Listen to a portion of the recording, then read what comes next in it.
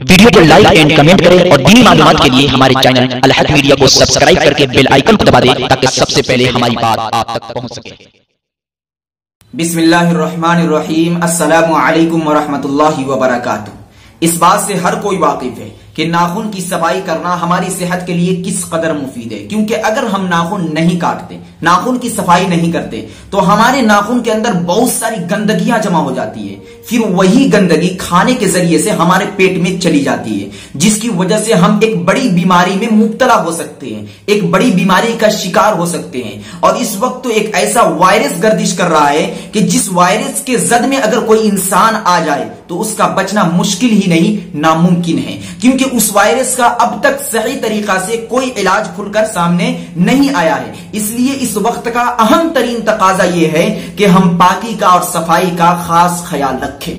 اب سوال یہ پیدا ہوتا ہے کہ ہمیں ناخون کس دن کاٹنا چاہیے؟ ناخون کاٹنے کا صحیح اور سنت طریقہ کیا ہے؟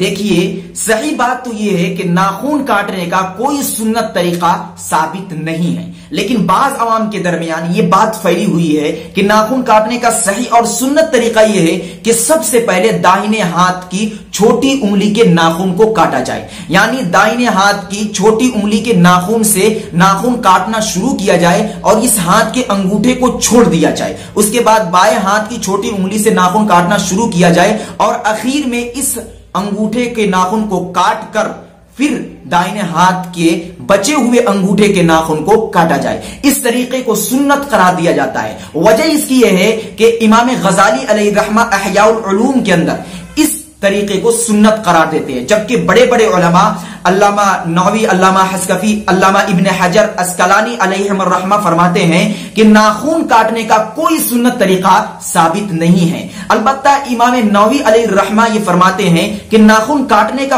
مستحب طریقہ، مسنون طریقہ اور افضل طریقہ یہ ہے کہ سب سے پہلے دائنے ہاتھ کی انگلیوں کے ناخن کو کاٹا جائے۔ وجہ یہ بیان کرتے ہیں کہ جتنی بھی عظیم ترین چیزیں ہیں۔ جتنے بھی افضل کام ہے اس کو داہنے طرف سے شروع کیا جائے۔ اس لیے نبی پاک علیہ السلام والسلام کا خاص معمول یہی تھا۔ اس لیے فرماتے ہیں کہ مستحب طریقہ تو یہی ہے کہ ناخن کاٹنے میں پہلے داہنے ہاتھ کے ناخن کو مقدم رکھا جائے۔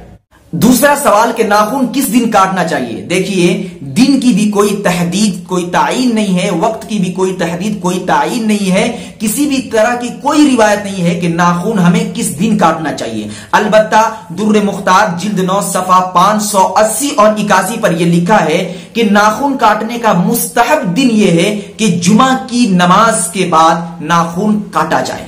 ویڈیو کو لائک اینڈ کمنٹ کریں اور دینی معلومات کے لیے ہمارے چینل الحد میڈیا کو سبسکرائب کر کے بیل آئیکن کو دبا دیں تاکہ سب سے پہلے ہماری بات آپ تک پہنچ سکے۔